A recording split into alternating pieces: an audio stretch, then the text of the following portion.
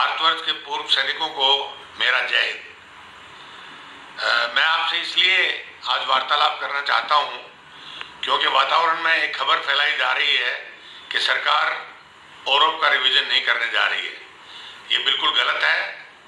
रक्षा मंत्री महोदय ने पार्लियामेंट में बता दिया था और सेक्रेटरी लेवल पर जहाँ मेरी बातचीत हुई है, ये क्लियर कर दिया गया है सीजीडीए को और प्रिंसिपल सीडीए पेंशन को कि औरब का रिवीजन औरब नोटिफिकेशन के मुताबिक 1 जुलाई 2019 से होगा।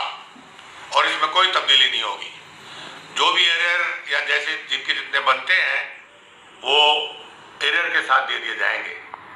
एक दो वो चीज़ें बताने वाली ये हैं कि पहले वाले कुछ पेंशनर को ज़्यादा पेंशन मिल रही है, जिससे अगर अभी वालों से कंपेयर करें।